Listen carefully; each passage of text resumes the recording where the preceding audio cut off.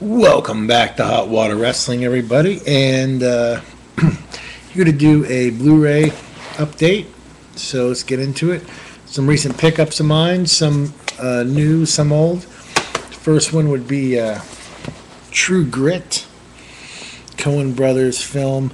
Um, not necessarily a remake of the John Wayne film, but rather a different take on the novel. I'm not sure if you guys have seen the uh, Willy Wonka and the Chocolate Factory, and then the film Charlie and the Chocolate Factory. Both films different takes on a novel. Well, this is the same thing. The John Wayne film is kind of a different experience, and this one, this is a little more. Um, well, it's Coen Brothers, you know. Now it's got a little bit more of their humor in it. Um, not that it's a funny movie or anything, but just some, you know, some of their quirkiness, some of their signature ways they have characters play out. Um, a little more true to the book than the John Wayne version. Highly recommended if you like westerns. Um, and even if you're not a huge western fan, you just like a good movie. True Grit, great movie. Comes in the slipcase. I'll show you the disc. Nothing special really.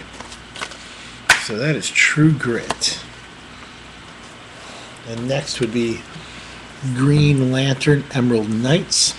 Um, this is an animated film from Warner Premiere. They've been doing a lot of these over the last few years, and virtually all of them are pretty darn good. Absolutely, absolutely worth watching. All of them. Some of them are really great.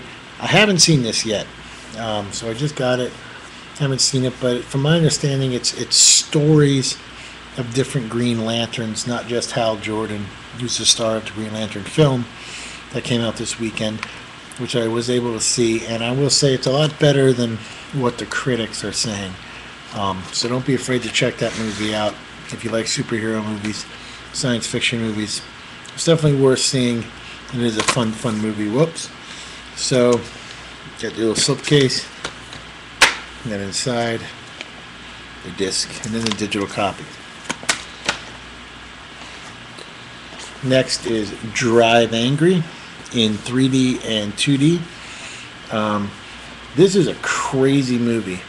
Um, very sadistic and just really dark. Um, I wasn't expecting it. I didn't even really know much of what the plot was when I got this. I rarely buy movies blind that I haven't seen before. I mean, Green Lantern, obviously, I'm familiar with the Green Lantern, but this is, uh, you know, something I just picked up I do have 3D. Um, not the biggest fan of it. I just ended up having to get a new television, and I decided, well, I might as well get a 3D one. Um, but uh, I do recommend it, probably as a rental to check out first. But it is a fun film.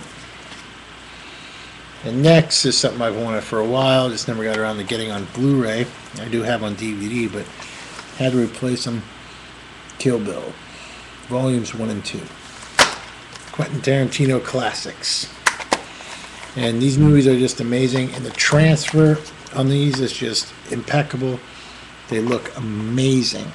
Um, so if you wanted to replace these films, I give I give them both a thumbs up for technical transfers. And as far as films, well, either love it or you hate it.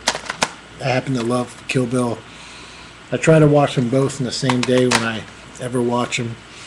Um, but uh, just really good movies. So those are my Blu-ray pickups. Take care.